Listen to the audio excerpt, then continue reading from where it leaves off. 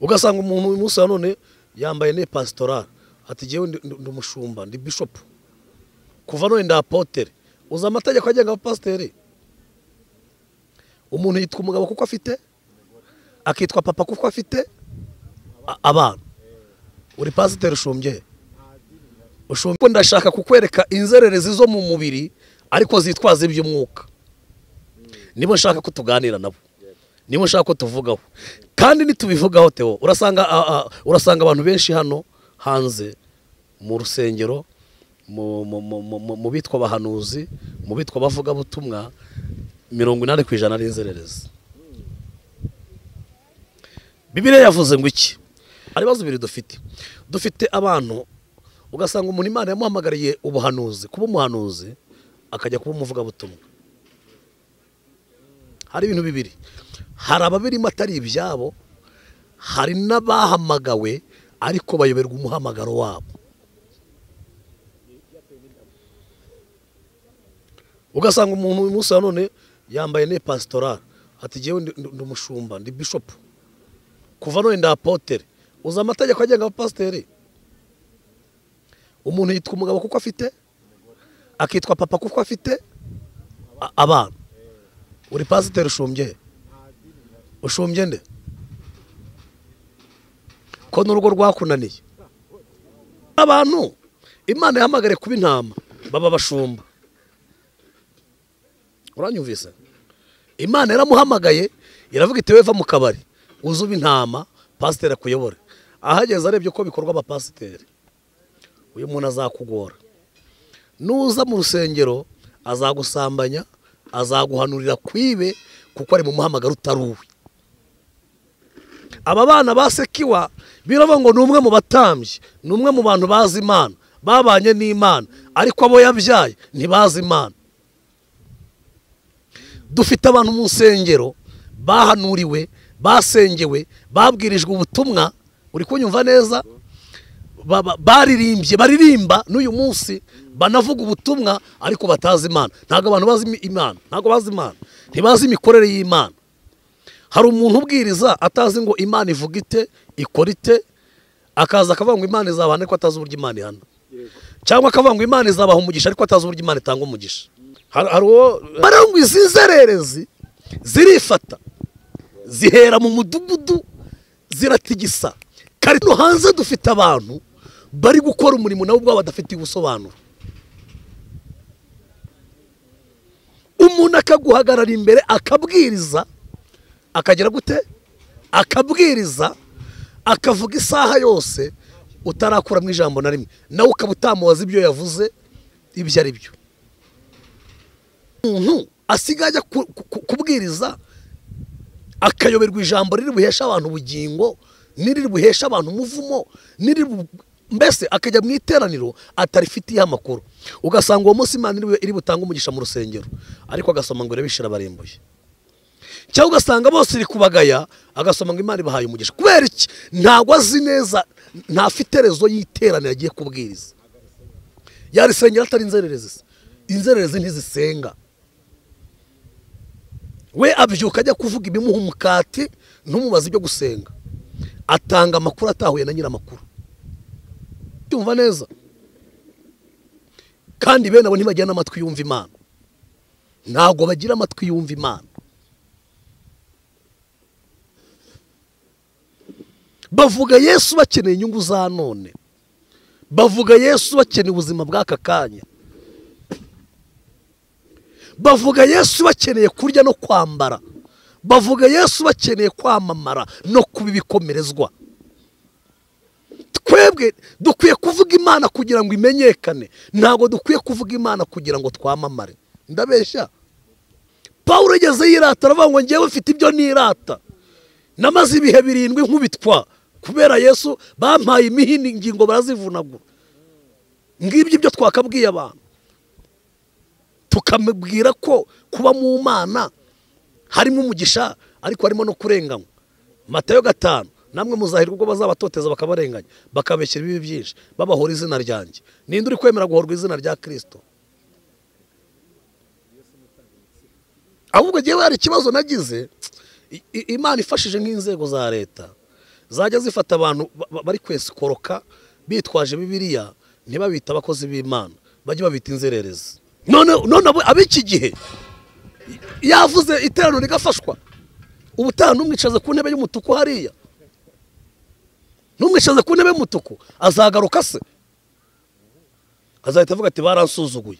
Ariko ubundi reka nkubaze. Usuzuguwe yesu akubaha bigutwaye iki? Njyewe nsuzuguwe yesu akubahwa bintwaye. Ubundi turabwiriza kugira ngo tu- tu- tuzane icyubahiro cyacu cyangwa turabwiriza kugira ngo imana ihabwe icyubahiro.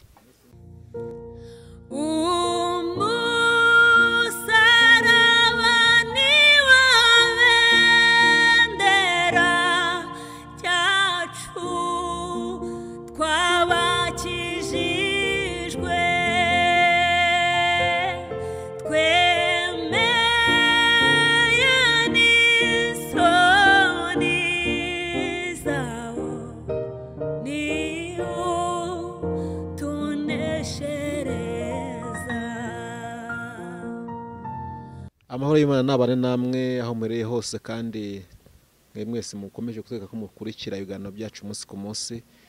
Neza y'imana ibane namwe kandi umugisha w'imana ubane namwe mu byo mukora byose. Aho uri hose rero hafi na kure amajyaruguru amajyepfo iburasirazuba n'iburengera bwaryo mwese mwumve ko tubasuhuje ufite ibibazo bitandukanye ufite intambara zitandukanye imana ishobora byose dufite imana ishobora guhindura umunezero guhindura umubabaro ikawugira umunezero waba ufite ibibazo ikabigira ibisubizo. Humura rero uyu munsi nubwo ari bibi ejo bishobora kuba byakunda bikaba byiza. Ndagusuje rero kandi wamaze gukora subscribe turagusaba kugira ngo nawe utayikora uyikore kandi uh, kuzajya ubona ibiganiro byacu byose ujye ubisangiza n'abandi kuko icyo tugamije ni ukugira ngo ubutumwa bwiza bwa yesu kirisito uh, bugere ku bantu bose. Ni ben nepo kuri mikoro ndi kumwe. N'umukozi w'imana mwabonye yambaye ubwiza bw'imana. N'ubwa mbere mubonye ariko ibyo byose ntabwo ari ubwa nyuma muramubona. Tuzakomeza tubane. Reka dutangire tumusuza kandi tumuha ikaze. Uraho neza? Uraho neza nepo ni amahoro ndashima imana. Ndaho rwose. Ubona wishimye. Nta kibazo. Nta kibazo nta kibazo. Eh, ahangaha rero turi kumwe n'umusaraba tv hamwe na sharomo tv turagira ngo utangire wibwira abaduteze amatwi muri kano kanya. Ya, nishimiye kuba ku musaraba tv ndetse no kuri shalom tv amazina yanjye yitwa izabayo cyangwa se imana izabayo jean pierre ndi umugabo mfite umudamu mfite n'abana babiri. Eh, nishimiye kubana namwe by'umwihariko wowe duherukana kera. Kera kera nkiri umusore. None ukiri na muto yabyongereho? None ndashaje. ndashaje. Eh, nari nkiri mutoya. Nishimiye kongera kubana namwe rero. Yego. Nanjye ndabyishimiye rero kandi tuguhaye ikaze niba imana igiye kunyuzamo ifunguro ryacu ry'uyu munsi. Turabyishimiye cyane. Nanjye ndishimye. Nanjye ndishimye rwose. Duherukana cyane nk'uko bivuze usigaye ubarizwa hehe mbarizwa ibatsinda ni ho ntuye nkasengera ku gisozi. Imana ishimwe cyane. Tugiye kuganira uyu munsi ah, ibintu bitandukanye ku ijambo ry'imana uko umwuka arakuyobora. Cyane cyane ku ijambo ry'Imana. Iyo mvuze ngo uko umwuka arakuyobora ijwi ry'imana riza rigakora. Rikakuyobora mu bundi buryo. Eh, na byo na byo Eh, na byo bibaho na byo bibaho ariko uyu munsi ndifuza ko tuganira ku ijambo ry'imana. Cyane kuruta ibindi byose kuko ndumva ari ryo nkeneye Mm. kandi na bibiliya iyo dusomye bibiliya abanditsi ba bibiliya bari abahanga cyane. Abantu ba- ba- bagiye bayishyira mu ndimi zitandukanye ariko wayishyize mu kinyarwanda ndamukunda. Ah, itangira ku rupapuro rubanza yanditseho akantu kavuga ngo abantu b'iki gihe bakeneye ijambo. So rero ndibaza ah, twebwe abagabura b'ijambo twagatanze ijambo cyane kuko niryo abantu bakeneye. Cyane cyane. Eh, n'abantu badukurikirana uzagenda ubibona mu makomenti bashaka ijambo kurusha ibindi byose. Nanjye nkakunda ijambo kurusha ibindi byose. Eh, Eh, eh, ndumva ari uwo mujyo tugiye kugendamo rero. Ngasenga imana. Reka dusenge. Mana turagushimiye tuguhaye icyubahiro. Tugushimiye ko uri imana uri itangiro n'iherezo. Tugushimiye uyu mwanya tugiye kubana hano n'abakozi bawe. Bibiriya muri maraki iravuga ngo iyo abantu b'imana baganiraga wategaga amatwi ukumva. Ibitabo bikabumburwa. N'aka kanya rero tugiye kuganira ijambo ryawe tugiye kugaburira imitima y'abantu benshi. Ndasenze ngo tuyoboze umwuka wera mu izina rya yesu. Amen. Ah, rero ndashima imana ndashima imana kuko ah, tubashije kugera hano tukaba turi kuvuga imana turimo tuganira imana tuvuga ubwiza bw'imana tuvuga imana. Imana abantu bayivuga mu buryo butandukanye. Buri muntu avuga imana uko yayibonye. Avuga imana uko yayibonye akayivuga uko ayizi akayivuga uko ayumva. Ah, ariko hari n'ikindi gice ari na cyo nshaka kuza kuvugaho cyane cy'abantu bavuga imana bakopeye. Hari umuntu uvuga imana ko yayibonye hari uyivuga kuko ayizi. Noneho hari n'ikindi gice cy'abantu bavuga imana ariko bakavuga imana bagize bate? Bumvanye abandi. Cyangwa se bakopeye cyangwa se eh, eh, sinzi uko nayita iyo ngiyo. Ariko ngewe nje kuvuga imana nabonye ntabwo nje kuvuga imana numvanye abandi. Kuko buriya abanyarwanda bari beza baravuze ngo inkuru mbarirano iratuba. Nje kuvuga imana nabonye. Ngewe nabonye. Eh, njye nabonye kuko ndahamya ko nawe ubwawe hari ibimenyetso bimwe na bimwe uzi ubu none hari ibyo uzi? Hari ibyo uzi kuri ngewe Eh, rero nje kuvuga imana ntumvanye abandi ahubwo nabonye. Kuko iyo umuntu avuga Ima- imana yumvanye abandi ayivuga mu buryo bwe. Mu buryo yumvise. Ntabwo ayivuga mu buryo bwe. Ayivuga nyine nk'uko yayumvanye abandi. Hari uyumva eh, umuntu avuga ati imana ni ingome nawe akagenda abwira abantu bose ko imana ari ingome. Eh, rero eh, rero ni byo ngibyo nje- nje kuvuga imana numvise nabonye. Ntabwo nje kuvuga iyo numvise. Ni byiza cyane. Ah, rero ndashaka ko twifashisha ijambo ry'imana n'ubundi kandi.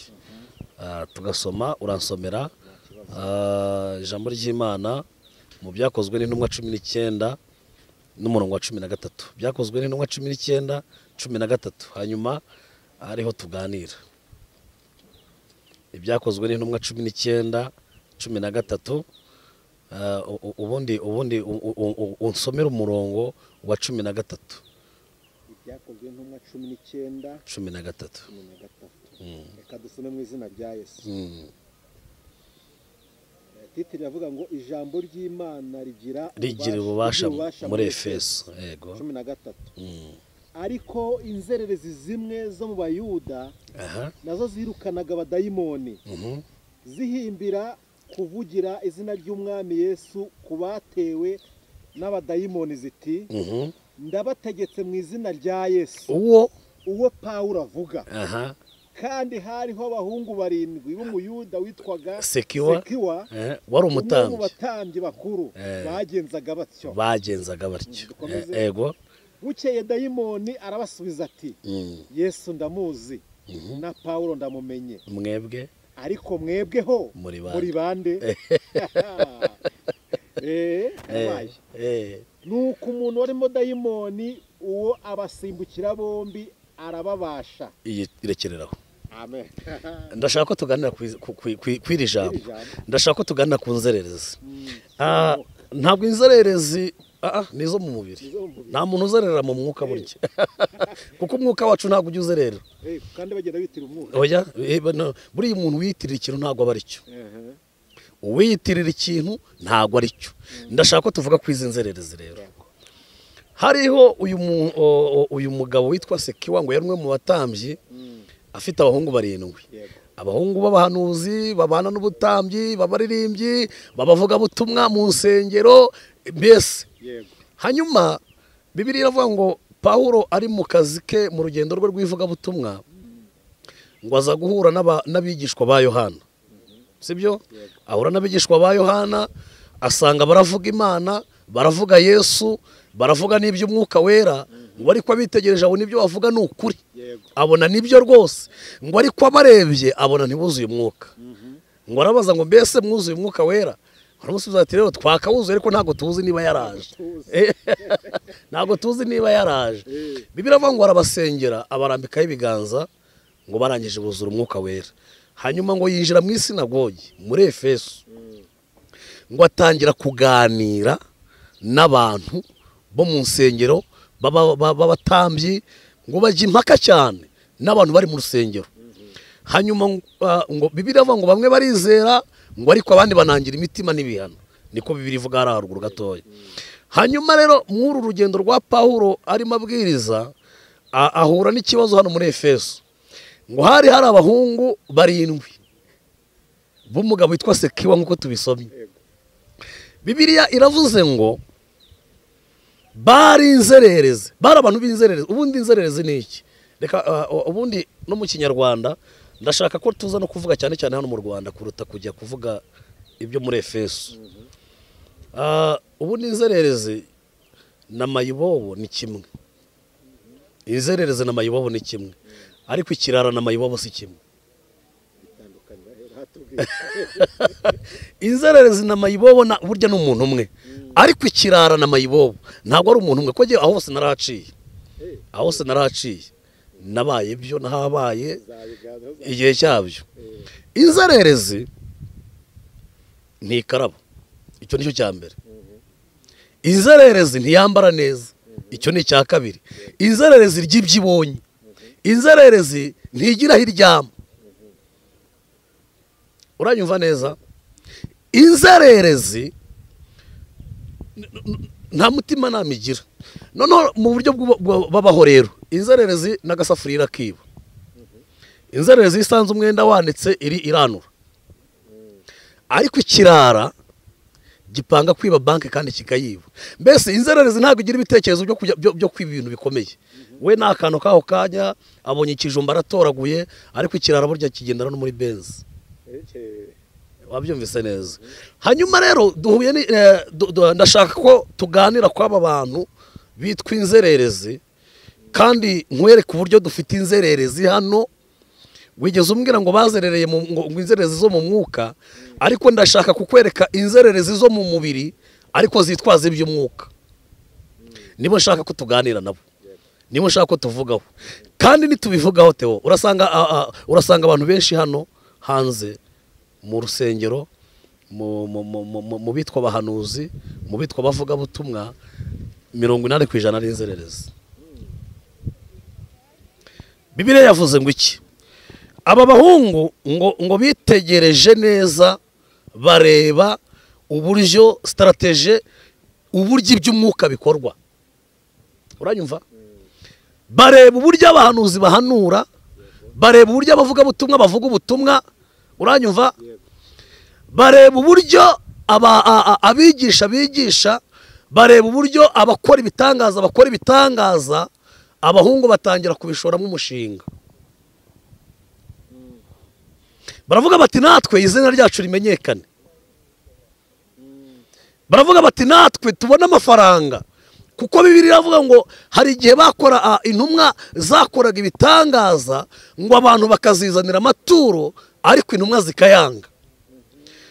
Abandi rero bo babirebye babona intumwa hari ubwenge zidafite. Rero abantu bafite umwuka wera ariko ku kijyanye n'ubuzima ni injiji ibi bintu turamutse tubikoze twebwe twakanguka kubaruta.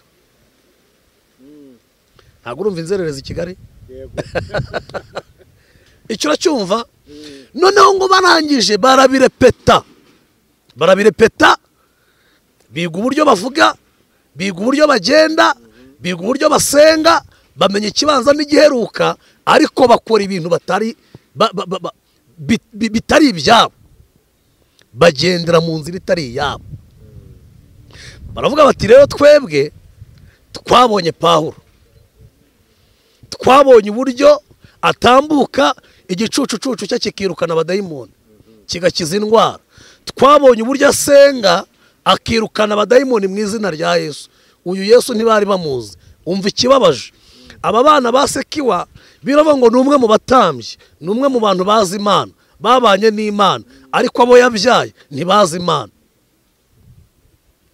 Dufite abantu mu nsengero bahanuriwe basengewe babwirijwe ubutumwa uri kunyumva neza? Ba- ba- baririmbye baririmba n'uyu munsi banavuga ubutumwa ariko batazi imana. Ntabwo abantu bazi imana ntabwo bazi imana. Ntibazi imikorere y'imana. Hari umuntu ubwiriza atazi ngo imana ivuga ite ikora ite akaza akavuga ngo imana izabahana ariko atazi uburyo imana ihana. Cyangwa akavuga ngo imana izabaha umugisha ariko atazi uburyo imana itanga umugisha. Ibintu by'imana bigira kondisiyo ko uranyumva? Bibiriya yatubwiye ngo iki? Ngo izi nzererezi abo bahungu barindwi basekiwe. Ngo baragenda batangira bahera mu isibo bahera iwabo mu midugudu. Ngo bakajya bavuga bati turakwirukanye mu izina rya yesu twumvanye pawulo. Bakagira imana bagahora n'umuntu ufite utugeni tukiri dutoya. Umuntu warwaye umutwe warwaye igicurane bamusengera mu gitondo byahuza n'uko yari bukire bakavuga bati nimuze murebe. Ndashaka ko tuganira ku nzererezi. Kandi nureba urasanga mirongo inani ku ijana y'abantu bari kugenda batwaye bibiliya abenshi ni inzererezi. Ngo baratangira bak- bakagenda bahura n'umuntu bakavuga ati turakwirukanamo abadayimoni mu izina rya yesu twumvanye pawulo. Twumvanye? Uze kundebera ko abantu benshi muri iyi minsi batari kuvuga imana abandi bavuze.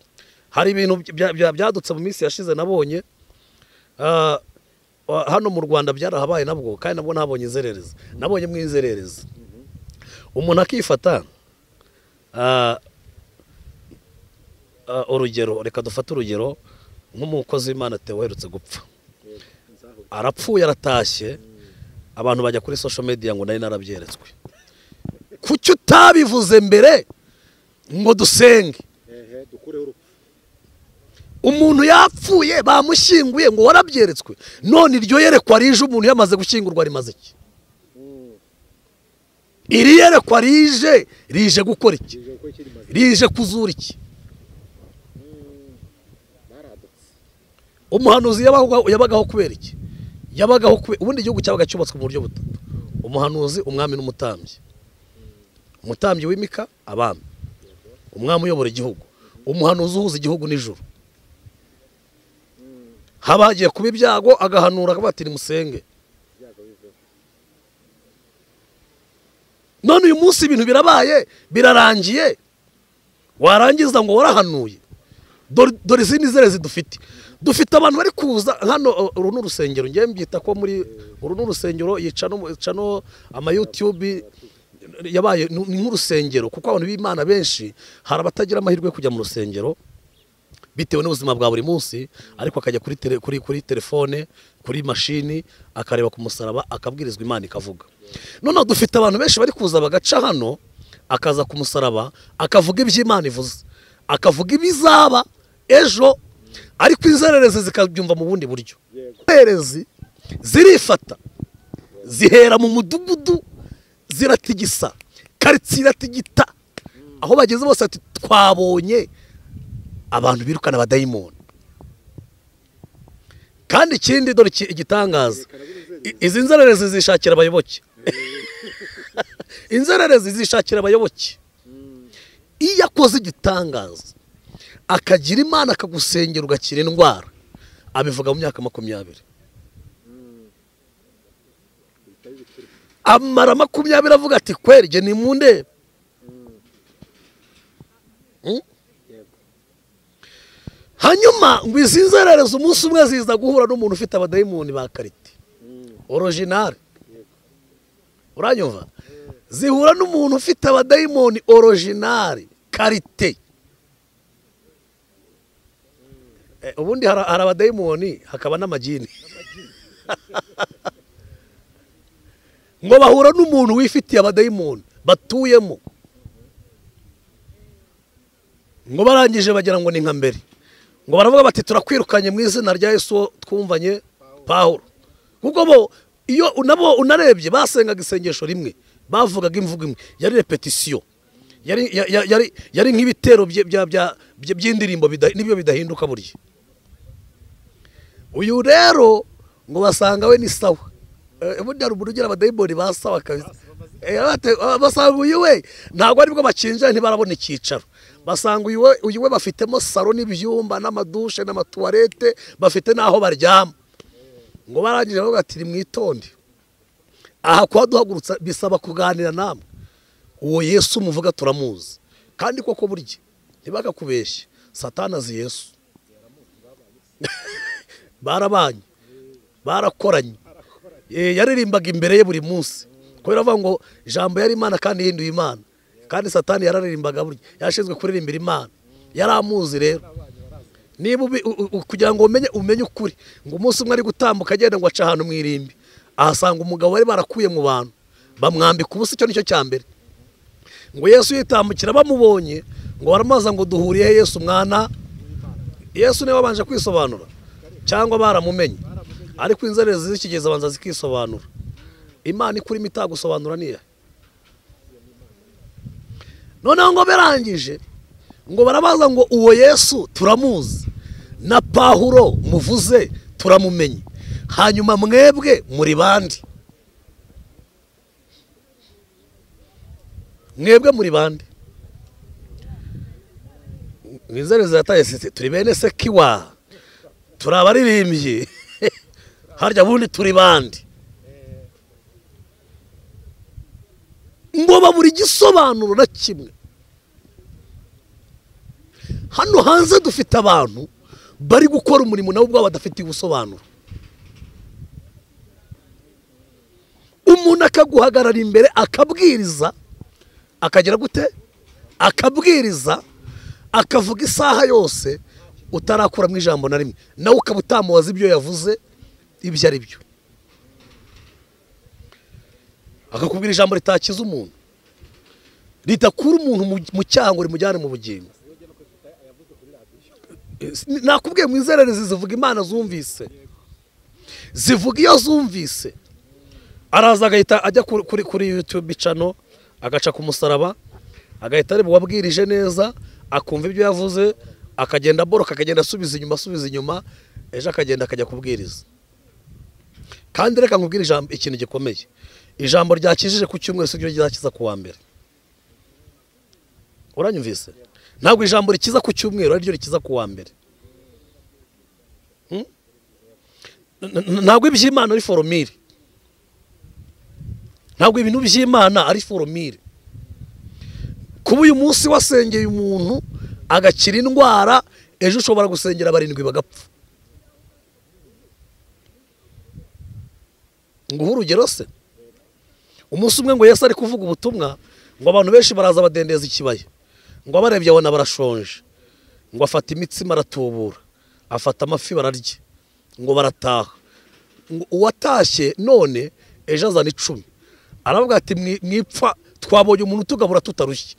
Mwikirwa muruha nimuve mu bigage muve mu nzoga mube muzisize aho ngaho tubanze tujye kurya imitsima y'ubuntu. Turagaruka tuze tu- musubire mu rwago ariko ba- banze ujye kurya umutsima w'ubuntu. Ngo bagezeyo yesu abona baje ntibakeneye imitsima y'ubugari. Abona bakeneye ijambo. Ngo arabwiriza saa tatu saa yine saa tanu saa sita saa saba ngo batangira kwikura babuze icyayi saa tatu. Aba saa tanu babuze ibyo kurya ba- baragenda. Aba saa munani ngo yesu ashiduka ahagararanye n'abantu ba cumi na babiri abigishwa be. Ngo araza ngo mwebwe ko mutagiye. Ngo petero aramusubiza ngo twakuvaho tukajya he? Ko wari ufite amagambo meza y'ubugingo. Izi nzererezi rero ziri hano zirimo zivuga iby'imana zitazi ziri kubwiriza ubutumwa zitazi. Uzi ko umuntu asigaye ajya ku- ku- kubwiriza akayoberwa ijambo riri buhesha abantu ubugingo n'iriri buhesha abantu umuvumo n'iriri bu- mbese akajya mu iteraniro atarifitiyeho amakuru. Ugasanga uwo munsi imana iri bu- iri butange umugisha mu rusengero. Ariko agasoma ngo irabishira barimbuye cyangwa ugasanga bose iri kubagaya agasoma ngo imana ibahaye umugisha. Kubera iki? Ntabwo azi neza ntafite rezo y'iteraniro agiye kubwiriza. Yarisengera atari inzererezi. Inzererezi ntizisenga. We abyuka ajya kuvuga ibimuha umukati ntumubaze ibyo gusenga. Atanga amakuru atahuye na nyir'amakuru.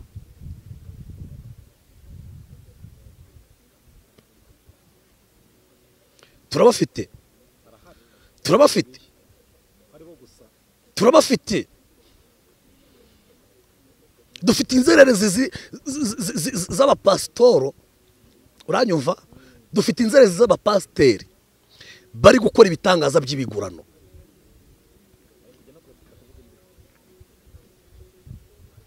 Akagenda akareba abantu. Hari uwo nzi hari uwo nzi ntabwo ari ngombwa ngo umuvuge izina ariko ntanarivuga njyewe ndigaburira.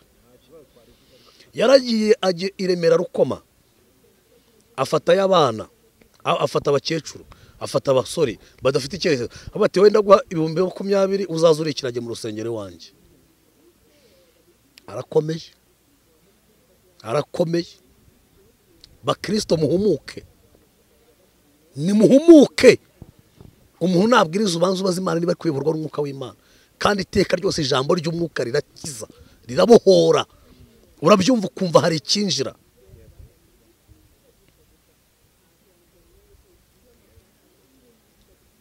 inzererezi uzi ko hari insengero ujyamo? Ugasanga guhera ku ruhimbi guhera iburyo kugera ibumoso. Imbago ziradanduye ukagira ngo ni mu gakinjiro wageze. Eh, ukagira ngo wagiye mu gakinjiro. Wajyayo ngo nimurebe ngo bose barakize. Ntabwo ntabwo ukorera imana ngo ujye kubirata. Yesu yakizaga umuntu yagaruka kumushima bati genda wiyereke amata ubutambyi. Cyangwa bati ntimugire abo mubibwira. Reka nkubaze umukozi w'imana. Hari umuntu wakoze ibitangaza kurenza pawulo? Muri bibiliya yose wasomye hari aho yigeze yivuga akavuga ati nimuze mu nyumve ngewe nazuye umuntu. Ha ha mbwira. Uzi umunsi pawulo yigeze yirata dore ibyirato by'abantu b'imana. Wirata umubabaro waciyemo kubwo kuronka kirisito kavuga uti ngewe ngibi narabiretse ariko mfata yesu. Ariko ibi kigera akavuga ati ngewe kubitaho kamera nazuye umuntu ku wa mbere. Ngaho niba waramuzongereza urundi turebe. Hmm? pawulo yigeze yirata aravuga ngo ngewe mfite ibyo nirata. Namaze ibihe birindwi nkubitwa. Kubera yesu bampaye imihini ingingo barazivunagura.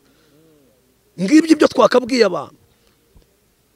Tukamubwira ko kuba mu mana harimo umugisha ariko harimo no kurenganywa. Matayo gatanu namwe muzahirwa ubwo bazabatoteza bakabarenganya. Bakabeshyira ibibi byinshi. Babahora izina ryanjye. Ninde uri kwemera guhorwa izina rya kirisito ahubwo ngewe hari ikibazo nagize imana ifashije nk'inzego za leta. Zajya zifata abantu ba- ba- bari kwesikoroka bitwaje bibiliya ntibabite abakozi b'imana bajye babita inzererezi.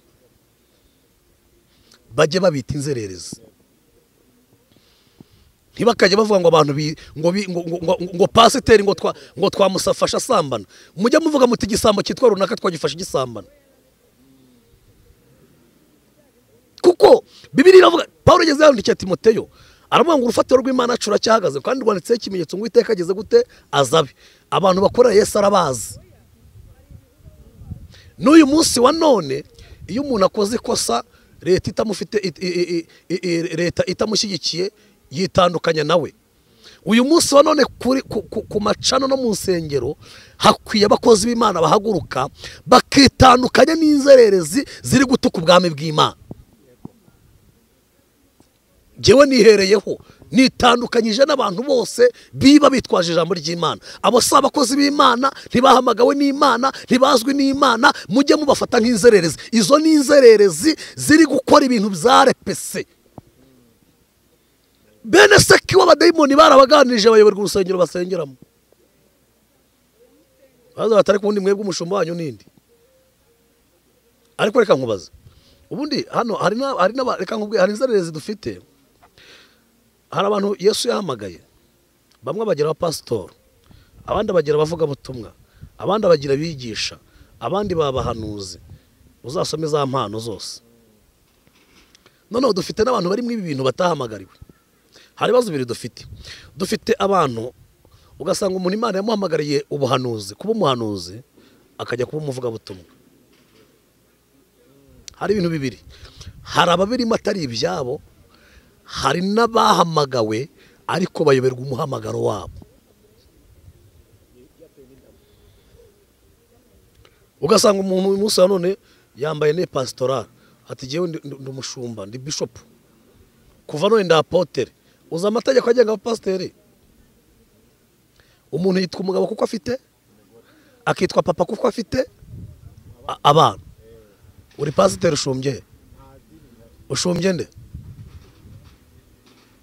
Ko n'urugo rwakunaniye.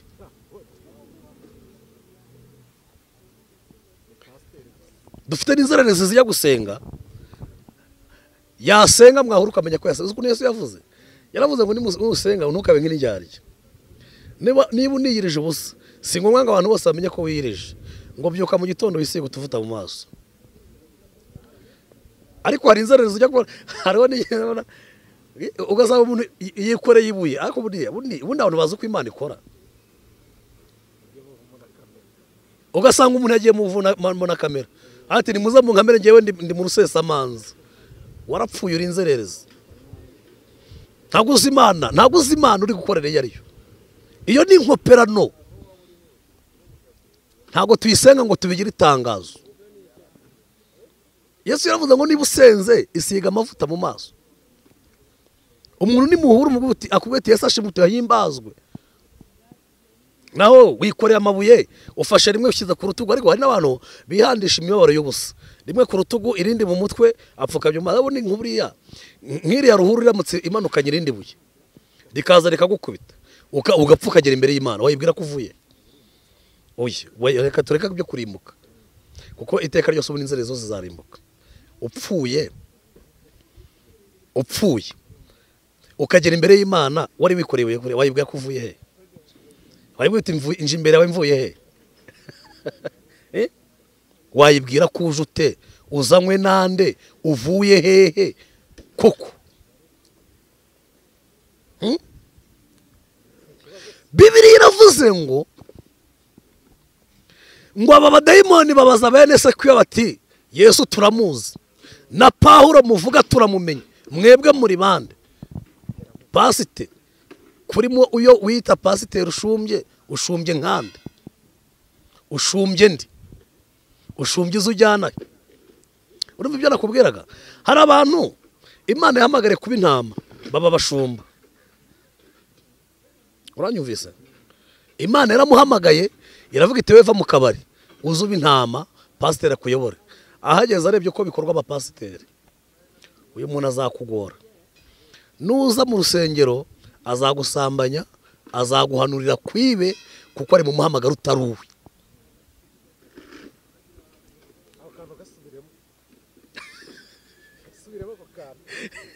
Eh, urabyumvise?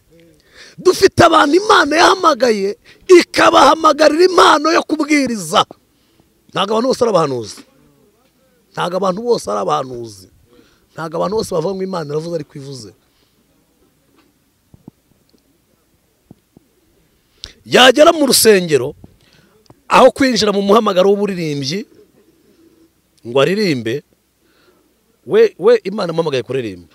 Ariko agahita yumva ko yabadirije cyangwa ati genda idirije. Ntabwo abantu bose ari abadirije uranyumvise? Dufite ikibazo cy'abantu bari mu muhamagaro batazi uko ukorwa. Reka nk'urugero. Wigeze uba umusirikare? Wowe wabaye umusirikare ubu none aha ngaha baguhaye imbunda warasa. Uzi uko barasa? Urabizi neza uko barasa? Niyo mpamvu leta itagomba kujya ifata abantu bakoze amafuti bakoze ibyaha ngo babyitirire imana. Izi bajya bavuga ko ari inzererezi. Siko biratubwiye? Ni inzererezi bajya bavuga bati twafashe igisambo cyibye. Kiba cyitwaje ijambo ry'imana. Ntibazongere kuvuga ngo bafashe pasiteri yibye.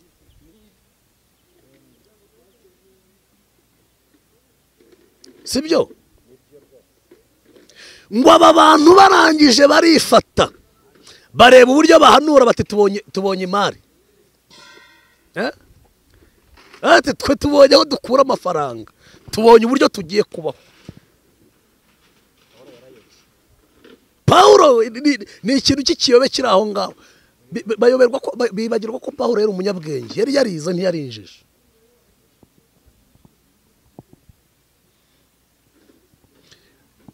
Ni gute ujya kuri ku- ku- ku- mu rusengero ukajyanwa no gutuka umuririmbyi mwagiranye ikibazo?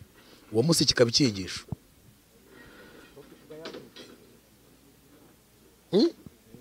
wowe twagiranye ikibazo bama kubwiriza ahita ngo imana izabarasa izabamenagura izabamena amatwi n'amatama murapfuye murashize. N'uwo mutatu ukajya akirirwa afashe umwanya w'ubusa.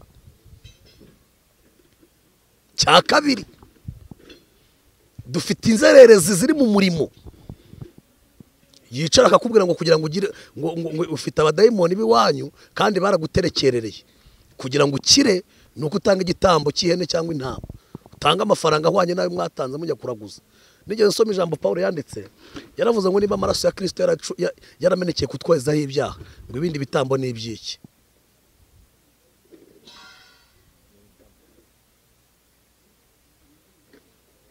Sinanza ko umuntu sinanza ko aguha umugisha aguhesha umugisha. Ufite kumusengera yabona giciyemo aho bati uyu muntu w'imana ahabwa umugisha nawe ariko uzi ko umuntu agusengera icyo asengeye cyakunda ukamera nk'umugiye mu ideni ukayabona banki yakugurije. Akaguhamagara mu gitondo saa sita nimugoroba. Njyewe ndashaka kubwira abanyarwanda n'abantu bose banyumva. Nimwumva ijambo ry'imana. Umuntu akabwiriza ugafungura ukumva umuntu amaze iminota mirongo ine mirongo itatu. Ari kuvuga nta kintu urakuramo. Icyo cyigisho kireka ntacyo cyakumarira. Ni gute umara iminota mirongo itatu uri kuvuga utaravuga ijambo rikura umuntu ku cyaha. Hari abantu bagiye bakizwa ubundi du- dufite n'ikibazo cy'abantu. N'uburyo abantu bakizwa na byo ubwabyo bikwereka aho bajya. Hari umuntu uba mu rusengero kuko se ari pasiteri. Nk'aba bene sekiwe. Bari abana babaye mu rusengero. Biriya ntiyatubwiye ngo ni abana bumwe mu batambyi. Bari abana barabizi uko bikorwa. Hari umuntu uba mu rusengero kuko ari itegeko kubayo. Akaba mu rusengero kuko ise ni pasiteri agomba kujya akaririmba byanze bikunze. Hakaba n'abantu baba mu rusengero kuko yesu yabakuruje imibabaro. Akakureba aka- umuririmbyi yaravuze ngo nari mu isabe y'ibyaha ankura yaransayuwe hari abantu bakizwa nk'abasayuwe umuntu nawe a- iyo iyo ageze mu mana aba ameze nk'uwahunze ntabwo aba ameze nk'uwimutse. Iyo umuntu agiye kwimuka afata umwanya akareba ibikoresho azakenera n'ibyo atazakenera. Akagira ibyo ajugunya n'ibyo agumana. Ariko uhunze afata icyo afite ako kanya ni cyo ajyana. Hari abantu twafashe yesu tumufata nk'abahunze. Kandi agaciro agaciro afite muri twebwe ntabwo katuma tumurekura kubera ko ntabwo twasubira hamwe twahunze ngo tujye kongera kumubonayo. Ntabwo twamusangayo. Reka nguhe urugero nkanjye ngewe nyizwa ninjira mu rusengero bwa mbere. Umunsi wa mbere ninjira mu rusengero. Wa mbere ninjira mu rusengero. Nari mvuye ku ibano Kimironko. Jyewe nari ndi no ku rwego rubi cyane. Hano ku murenge eh, inyuma y'umurenge wa Kimironko. Ku murenge kuva ku murenge hakurikiraga urusengero rwitwa Healing Center rwa Dewo igipangu cya mbere cya kabiri ni cyo nagiye kwibamo. Saa munani z'amanywa. Ku murenge. Kandi naragiye ndibangera no ku mugambi. Ariko nkubitana n'umutego w'imana. Nkubitana n'umutego. Ndi gusohoka nkinga igipangu baba barambonye ndiruka baranyirukankana banyirukankanye mbageze imbere y'urusengero rwo kwa dewo. Ibyo ni byo mbitazi mbona barankurikiranye. Ntera imibare ndavuga ni rero reka ninjire mu rusengero. Bari barimo basenga saa munani. Reka ninjire mu rusengero nibaza kunkuramo ndavuza induru. Abarokore barantabara. Mera nk'aya nyamaswa icikiye mu nzu. Ninjiye mu rusengero ndi guhunga abo nari mvuye kwiba. Njyewe nagumye mu rusengero nzi ngo aba- abanyirukankanye bari hanze. Bo bagiye bafashe ibyo barigendera. Saa munani saa cyenda saa kumi saa kumi n'imwe saa kumi n'ebyiri nzi ngo bari imana yagushatse ntabwo wayicika. Njya kumva numva ba- baravuze ni bwo bwabenje mu rusengero. Numva baravuze ngo ngo abantu baza kwakira Yesu nk'umwami n'umukiza. Ndavuga ngo bagiye guha abakene igihumbi. Njyewe nagiye nzi ko ngiye kwakira igihumbi. Mfata Yesu na bugingo n'ubu. Ibyo tubireke n'iby'ubuhamya dufite abantu. Re- reka nguhe urugero. Re- reka nkubwire ikintu gikomeye. Ntabwo nkubeshya uzabaza uriya muhungu uriya muhanzi witwa zakariya. Niwe twajyanye i cyangugu Ah, kera hari muri kibuye ubu habaye cyangugu ahantu nabaye mayibobo ahantu bita ikarengera baherutse kuntumira ngo njye kubwirizayo. Naherukagayo nari maze imyaka cumi n'ibiri ntajyayo naherukagayo ndi mutoya cumi n'ibiri cumi n'itatu gutyo. Unabibare. Navuyeyo bibiri na gatandatu nasubiyeyo bibiri na cumi na- na- na cumi n'umunani. Si imyaka cumi n'ibiri ubwo? Nagezeyo nsanga na pasiteri wanumiye naramwibye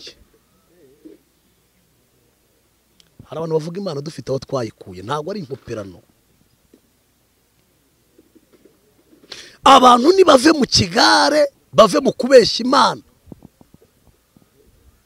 Bave mu kubeshya imana. Iteka reka icyo kizaku- kizakwereka inzererezi. Iyo igeze mu murimo w'imana irawutoba kuko ntabwo izi uko ukorwa. Iyo igeze mu murimo w'imana irawutoba. Iragenda igasanga uwari mwarimu ikamugira umudiyakoni uwari umudiyakoni akaba umuririmbyi. Uwari umuririmbyi akicara. Kuko ntabwo azi ntabwo ntabwo izi uburyo umurimo w'imana ukorwa.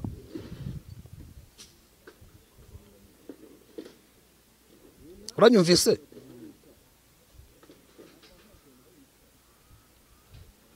Iyo inzererezi iri gukora umurimo w'imana. Ntabwo itinya icyaha. Kuko yesu ari kuvuga ntibahuye. Ntabwo yesu ari kuvuga bahuye. Reka nkubwire abantu babiri ba- ba- ba- bavuga yesu. Aba mbere ni ababanye nawe aba kabiri ni abahuye nawe. Utari muri icyo cyiciro ntazamuvuga ngo bikunde. Intumwa cumi n'ebyiri zabanye nawe imyaka itatu n'amezi atandatu pawulo agiye kumuvuga barahura ari kujya i damasiko noneho dufite n'abantu bamuvuga batanamuzi. Ntibazi niba ari inzobe cyangwa ari igikara. Icyo uracyumva neza. Kandi bene abo ntibagira n'amatwi yumva imana. Ntabwo bagira amatwi yumva imana. Bavuga yesu bakeneye inyungu za none. Bavuga yesu bakeneye ubuzima bw'aka kanya. Bavuga yesu bakeneye kurya no kwambara. Bavuga yesu bakeneye kwamamara no kuba ibikomerezwa. Twebwe dukwiye kuvuga imana kugira ngo imenyekane. Ntabwo dukwiye kuvuga imana kugira ngo twamamare. Ndabeshya. Umuntu agira akavuga ati eh ati runaka ubwo yanditse izina rero kano kanya nanjye nzi kubwiriza nabikora. Ntabwo bavuga imana kugira ngo agakiza kajye mu mitima y'abantu. Baravuga imana kugira ngo n'uwari urifite mu- mweko arivane yari bahereze barye. Niyo mpamvu yesu yavuze ngo bene abo muzabamenyera ku mbuto zabo. Mu mavugabutumwa ari gucaho ku iki gihe. Mu buhanuzi bwinshi buri gucaho. Ninde uri kuvuga ubuhanuzi bujya kuma? N'uzamutse bazamuka ari nk'ijana bajya kumutuka. He runaka. Imana iramumennye ubu ngubu igiye kumvira gute? Ari kubeshya ngo ntiyahanuye wowe uvuga ukuri wahuye na yo? Wa- wayibajije neza ko uyu muntu yavangiwe? Ariko ugenda uvuga ko biremwe none ubundi ibintu biremwe bazi ibyo ari byo. Nasomye ijambo ry'imana muri muri zawe mirongo itanu mirongo gatatu. Haravuga ngo imana y'amahoro izaza ntizaceceka ngo ariko imbere yawo umuriro uzayibanziriza none se ugira ngo nizizavuga ku byiza gusa ibyo ntizabivuga? Ese ubundi intego z'umuvugabutumwa ni izihe? Ubundi inshingano z'umuvugabutumwa ni izihe? Inshingano zacu twebwe ni izihe? Uzi impamvu leta ishyira abambasaderi mu bihugu runaka? Ikagufata uti wowe genda uba ambasaderi wenda w'u rwanda mu buhinde. Mu buhinde hari abaturage batazi u rwanda. Ushinzwe kugenda ugasigasira umuco ugasigasira ishema ry'igihugu. Ukabwira abahinde ibyiza by'igihugu. Ukirinda ikintu cyose cyangiza igihugu. Isura mbi bari bafite ku gihugu ukayihanagura. Twebwe abavugabutumwa turi abambasaderi b'ijuru. Dushinzwe kubwira abantu ubwiza bw'ijuru. Tukabwira abantu ibyiza byo kuba mu ijuru. Tukabwira abantu ibyiza by'agakiza. Twebwe dushinzwe kugomororera abantu kirisito amen. Twebwe dushinzwe kubwira abantu kuvuga ngo va mu byaha inzoga n'imbi usange yesu. Reka gusambana usange yesu.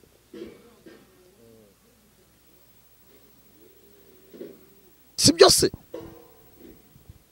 ariko b'iki gihe arajya mu rusengero ari ukwamamara. Uyu munsi bamukomera. Hari uwo twigeze turirimbana. Twigeze turirimbana umunsi umwe twakoranye umurimo w'imana pe. Ari umuntu uri aho ngaho ugize. Umunsi umwe imana iramuzamura. Aramamara agirirwa neza rwose n'imana. Inashimwe. Duhuye haciyemo nk'imyaka nk'ibiri. Kandi twakoranye imyaka irenga itanu umurimo. Arambaza ngo harya witwaye. Kubera ko ari kundeba akabona urwego ndimo ntabwo ari rwo arimo. Nta n'impamvu yo kugira ngo abe yibuka izina ryanjye. Dufite abantu. Uyu munsi kuko abantu cumi na batanu bagukurikiye ba- ba- wavuze bakumva bakemera. Ugahita uzamura urutugu ukamera nka dendo. Icyubahiro ni icy'imana nimureke dusubire ku gicaniro twongere dushake kirisito amen. Pawulo yigeze abwiriza bakamu- bakamurata ba- batangiye kumurata aravuga ngo ntimunyobye ntimumpe icyubahiro nafite sinjye uriho ni kirisito uriho muri ibyo nkora sinjye ubikora ahubwo ni yesu ubikora. Ntamufite sinabikora. Njyewe ntafite yesu sinabikora. None ab'iki gihe yavuze iteraniro rigafashwa. Ubutaha ntumwicaze ku ntebe y'umutuku hariya. Ntumwicaze ku ntebe y'umutuku azagaruka se? Azahita avuga ati baransuzuguye. Ariko ubundi reka nkubaze usuzuguwe yesu akubaha bigutwaye iki? Njyewe nsuzuguwe yesu akubahwa bintwaye iki? Ubundi turabwiriza kugira ngo tu- tu- tuzane icyubahiro cyacu cyangwa turabwiriza kugira ngo imana ihabwe icyubahiro. Yaravuze ngo ntabwo nzagiha undi. Ngo kandi n'ishimwe ryanjye ntabwo nzari ibishushanyo bibajwe. Nimuve mu gahuge nimuve mu ivugabutumwa ripfuye nawe niba ubyumva ukumva wari inzererezi igaruka usubire ku gicaniro ubaze imana umuhamagaro yaguhamagaye nimubwirize ukuri kw'ijambo ry'imana kuzuye. Dufite abatabivuga ngo barandeba bate barambona bate baranyumva bate nintavuga ibi sinzakurikiranwa nintavuga ibi ntabwo bazigera bampa viyuzi ubundi viyuzi ni iki? Viyuzi ya mbere ni ubugingo ku mana. Ha? hano hanze dufite abantu batakibona umwanya wo kujya mu rusengero. Hanze y'ibihugu dufite abantu bari mu kazi. Ariko yakicara akabatereka njyeho gato numva imana y'iwacu. Jyagiye ugasangura aho ngaho uri kuvuga amafuti. Ubuzererezi bwarakumaze. Ubuzererezi bwarakwishe. Ndenda no gusoza kandi ngewe reka nsoreze kuri iki kintu gikomeye. Inzererezi zijya mu nsengero zikajya no ku macano zigiye kunenga abandi. Kandi uzarebe mirongo inani ku ijana. Zirenga abavuga iby'ukuri. Kuko bari kuzisenya. Uranyumvise? Bari kuzisenya.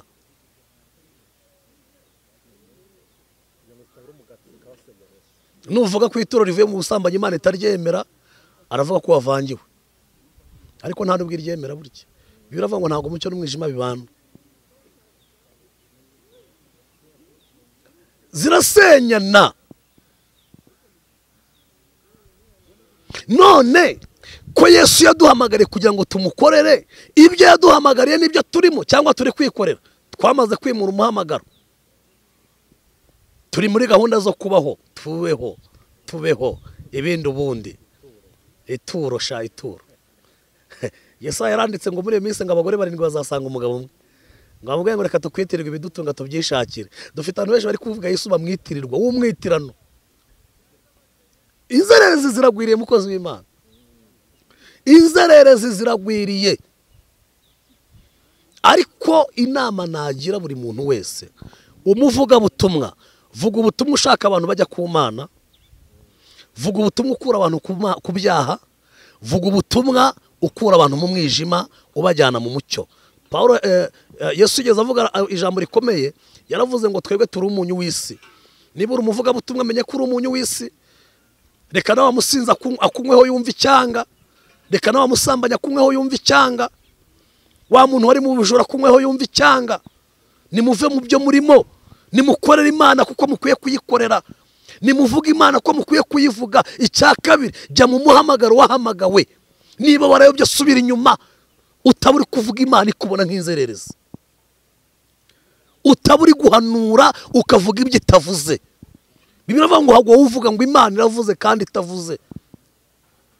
Ntabwo mujya musoma inkuru z'umuhanuzi w'umusaza mu gitabo cy'abami. Umwana w'umuhungu umwe yabuze ubwenge aragenda ajya kuvuma igicaniro cya robowamu kiravumika. Kandi biremera. Ariko abura ubwenge yimena inda kuki muri kwimena inda? Ariko muzi ko dufite n'abantu bari kwimena inda ubutumwa bw'imana bugapfa kubera twe twabutanze. Nahanuye bemeye nimuze murebe iwacu ukuboko kw'imana kurahari aho kutari ni hehe umuhungu ngo umwami amubwira ati tugende mu rugo nkugaburire undi ati reka reka imana yambujije. Dufite abantu bari kwimena inda bakamena amabanga mbibutse. Iyo satani agiye kukwica ahera ku ntwara agusanganye ntabwo satani azana intwaro kwica ahera ku yagusanganye umuhungu aba yimennye inda ati rero ati rwose mwami nakariye iwawe ariko yambwiye ko ntagomba kurya. Inkuru ziragenda zigera ku muhanuzi wamaze guhuma w'umusaza. Utacyumva ibyo imana ivuze? Haravuga ati rero uko ivuze ngo iyo tugenda tujya kurya. Amaze kurya byagenze gute se? Nawe mu gihe cyose utaramenya iby'imana ngo umenye amahame y'imana uzagwa nzira. Uzagwa nzira. Murakoze. Murakoze imana ibaho umugisha.